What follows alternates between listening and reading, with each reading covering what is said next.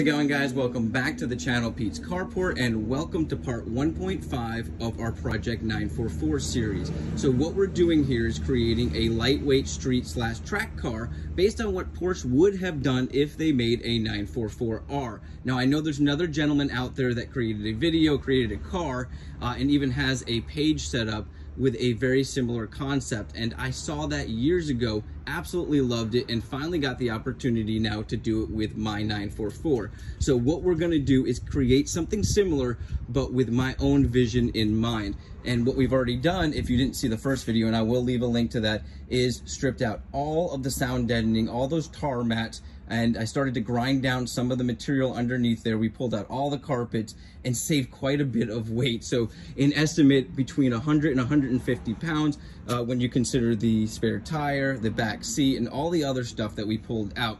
So what I wanna do now is put everything back in that'll make it look like a regular street car, but still have all those lightweight capabilities. So what we're gonna do is take our grinder here, our wire brush grinder, and grind out all of the glue and padding we can from that rear seat area.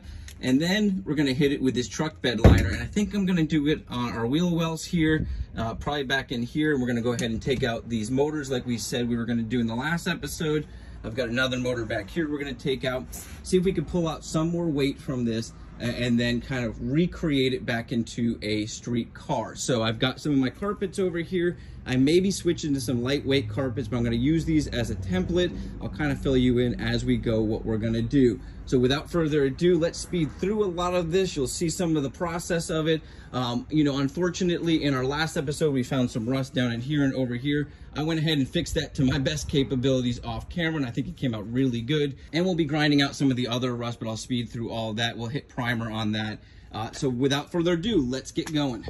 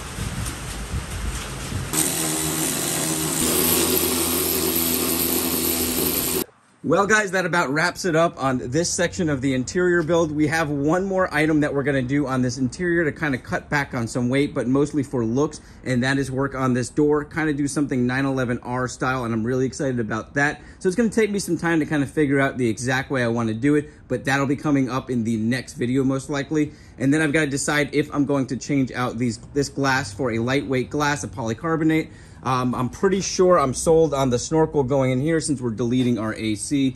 And then to cut weight, I really think we're gonna definitely go with a uh, lightweight glass here and something with the rear hatch. Now let's go ahead and take a look at everything we did here. We ended up laying back in the original carpet. I cut it down a little bit. I, originally, I went down to Lowe's and I picked up some carpet that kind of matched this and I was going to lay it out in here and recut everything. But after laying this down, I really like the way it looked and it's all about weight savings. Why spend the money when this is nice and lightweight and I think it looks really good. Now, my favorite section is the uh, rear seat delete. We painted this with the truck bed liner and I think it came out absolutely amazing. It's very durable and it's very lightweight obviously because there's no seat there. And then we've got our racing seat in here. So like i said we've still got one more section i think i want to do uh, but i want to think it through and that is these door panels. So i hope you guys enjoyed the video. This was kind of a quick run through of putting the interior back together after removing all that really really heavy insulation all that tar mat and i think it came out really good oh one last thing is we ended up taking out all this stuff. Now, I kind of sped through, but we took out these rear speakers that weren't even hooked up and uh, these motors here. So that's probably another 15 pounds or so. You add back in about five pounds of carpet. So we probably lost another 10 pounds there, which is, which to me is absolutely amazing. But you guys have an awesome day, a blessed week, and I'll catch you on the next video.